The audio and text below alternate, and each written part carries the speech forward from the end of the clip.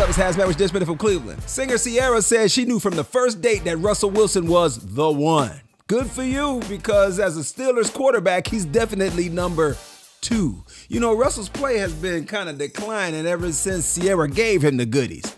But he got paid though. And as husband and wife, they've made three children. And since he's been such a great stepdad to the son Ciara already had, his player days might be close to over, but I think Dangerous and CeCe will always have a bright future together.